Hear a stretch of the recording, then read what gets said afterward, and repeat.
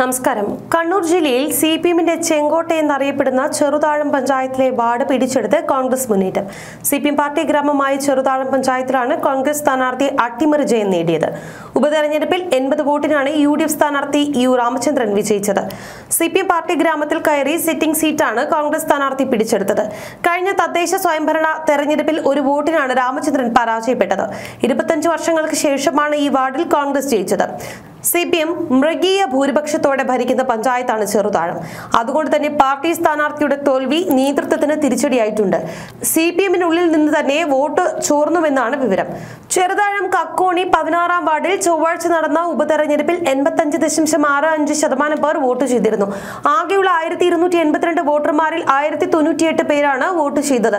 L D F sitting സീറ്റായ ഇവിടെ C P M അംഗം എം കൃഷ്ണന്റെ നിര്യാണത്തെ തുടർന്നാണ് ഉപതെരഞ്ഞെടുപ്പ് വേണ്ടി വന്നത് C Karunakaran C P M സ്ഥാനാർത്ഥി യു രാമചന്ദ്രൻ കോൺഗ്രസ് സ്ഥാനാർത്ഥി എന്നിവർ തമ്മിലായിരുന്നു മത്സരം. കഴിഞ്ഞ തെരഞ്ഞെടുപ്പിൽ ഒരു വോട്ടിനാണ് എൽ ഡി എഫ് ജയിച്ചത്. ഇത്തവണ ബി ജെ പി മത്സരരംഗത്തില്ലായിരുന്നു ഇതും കോൺഗ്രസിന് ഗുണം ചെയ്തു. കണ്ണൂർ സി പി എമ്മിൽ പലവിധ പ്രശ്നങ്ങളുണ്ട്. പി ജയരാജനെ മാറ്റി നിർത്തുന്നതായി ബന്ധപ്പെട്ട ചർച്ചകൾ സജീവം.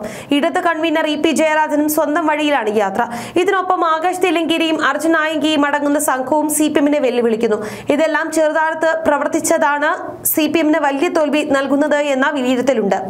ഇതിനിടെ കണ്ണൂർ കോർപ്പറേഷനിലെ U D F sitting seat നിലനിർത്തുകയും ചെയ്തു. കണ്ണൂർ കോർപ്പറേഷൻ പള്ളിപ്പുറം ഡിവിഷനിൽ നടന്ന ഉപതെരഞ്ഞെടുപ്പിലാണ് യു ഡി എഫ് സീറ്റ് നിലനിർത്തിയത്. മുസ്ലിം ലീഗിലെ എ ഉമായിബ എൽ ഡി എഫിലെ ടി വി റുക്സാനെയാണ് ആയിരത്തി പതിനഞ്ച് വോട്ടിന് പരാജയപ്പെടുത്തിയത്. ബി ജെ പി സ്ഥാനാർത്ഥി ഉൾപ്പെട്ട ത്രികോണ മത്സരമാണ് ഇവിടെ നടന്നത്. കഴിഞ്ഞ തവണ എഴുന്നൂറ്റിയൊന്ന് വോട്ടിനാണ് ഇവിടെ യു ഡി എഫ് സ്ഥാനാർത്ഥി ജയിച്ചത്. തദ്ദേശ ഉപതെരഞ്ഞെടുപ്പിൽ നേട്ടം യു ഡി എഫിന് തന്നെയാണ് പത്തൊൻപത് തദ്ദേശ സ്ഥാപനങ്ങളിലെ വാർഡുകളിലേക്കാണ് ഉപതെരഞ്ഞെടുപ്പ് നടന്നത്. അവിടെ ഒൻപത് വീതം സീറ്റുകളിൽ യു ഡി എഫും എൽ ഡി എഫും ജയിച്ചപ്പോൾ ഒരു സീറ്റിൽ ബി ജെ പിയാണ് ജയിച്ചത്. നിലവിലുണ്ടായിരുന്നതിനേക്കാൾ രണ്ട് സീറ്റ് യു ഡി എഫിന് കൂടുതൽ കിട്ടി. എൽ ഡി എഫിന് നഷ്ടമൊന്നും ഉണ്ടായിട്ടില്ല. ബി ജെ പിക്കും ജനപക്ഷത്തിനും സീറ്റ് കുറഞ്ഞു.